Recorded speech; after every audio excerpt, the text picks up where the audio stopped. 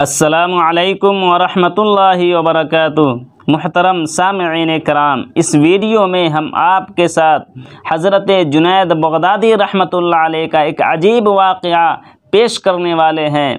इस वीडियो को पूरा ज़रूर सुने। इन ये वीडियो, ये बातें आपको सोचने पर मजबूर कर देगी। और क्यों ना मजबूर करे? क्योंकि ये अल्लाह वालों की बात है। आइए वीडियो की शुरुआत करते हैं। हज़रत जुनैद बगदादी अलैह के दौर में एक अमीर शख्स था, जिसकी बीवी बहुत खूबसूरत थी, बहुत हसीन व जमील थी।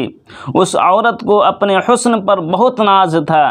एक मर्तबा बनाव सिंगार करते हुए उसने नाजो नखरे से अपने शोहर से कहा कोई शख्स ऐसा नहीं जो मुझे देखे और मेरी तमन्ना ना करे और मेरे, मुझे चाहे नहीं और मेरी लालच ना करे। खामिद ने कहा, मुझे उम्मीद है कि इस शहर में एक ऐसा भी शख्स है जिसे तेरी कोई परवाह नहीं है। उसका नाम है जुनैद बगदादी रहमतुल्लाह अलैह। नहीं, अगर तुम्हें यकीन है, तुम उसके पास जाकर देखो बीवी ने कहा, मुझे इजाज़त हो तो जुनैद बगदादी रहमतुल्लाह अलैह को आज़मा लेती हूँ। ये कौन सा मुश्किल काम है? यही घोड़ा और यही घोड़े का मैदान देख लेती हूँ, जुनैद बगदादी कितने पानी में है। खामिद ने इजाज़त दे दी। वो औरत बन संवर कर जुनैद बगदादी रहमतुल्लाह अलैह के पास आई और एक मसला पूछने के बहाने चेहरे से नकाब खोल दिया। जुनैद बगदादी रहमतुल्लाह अलैह की नज़र पड़ी तो उन्होंने ज़ोर से अल्लाह के नाम की ज़रब लगाई।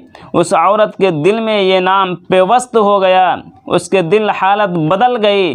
वो अपने घर वापस आई और सब नाज नखरे छोड़ दिए। ज़िंदगी की सुबह शाम में बदल गई। सारा दिन कुरान मजीद की तिलावत करती और सारी रात मुसल्ले पर खड़े होकर गुजार देती। खशियत इलाही और मोहब्बत इलाही की वजह से आंसुओं की लड़ियाँ उसके रुखसारों पर बहती रहती। उस औरत का खाविंद कहा कहा करता था कि मैंने जुनैद बगदादी रहमतुल्लाह अलैह का क्या बिगाड़ा था कि उसने मेरी बीवी को राहिबा बना दिया और मेरे काम का न छोड़ा। मोहतरम सामीन कराम, इन बातों से हमें ये मालूम होता है कि अगर हमें अल्लाह वालों की सहबत अगर मिल जाए तो उनके दिल की दुनिया बदल जाती है। मोहतरम सामीन कराम मैं उम्मीद करता हूँ कि ये वीडियो आपको ज़रूर पसंद आई होगी। अगर वीडियो अच्छी लगी है तो वीडियो को लाइक करें, अपने दोस्तों में, अपने रिश्तेदारों में ज़रूर शेयर करें। अगर हमारे चैनल पे पहली बार आए हैं तो हमारे चैनल को ज़रूर सब्सक्राइब करें। इन हम आपसे एक अच्छी मालूम एक नई मालूम में मिलेंगे। तब तक के लिए खुदा हाफिज़।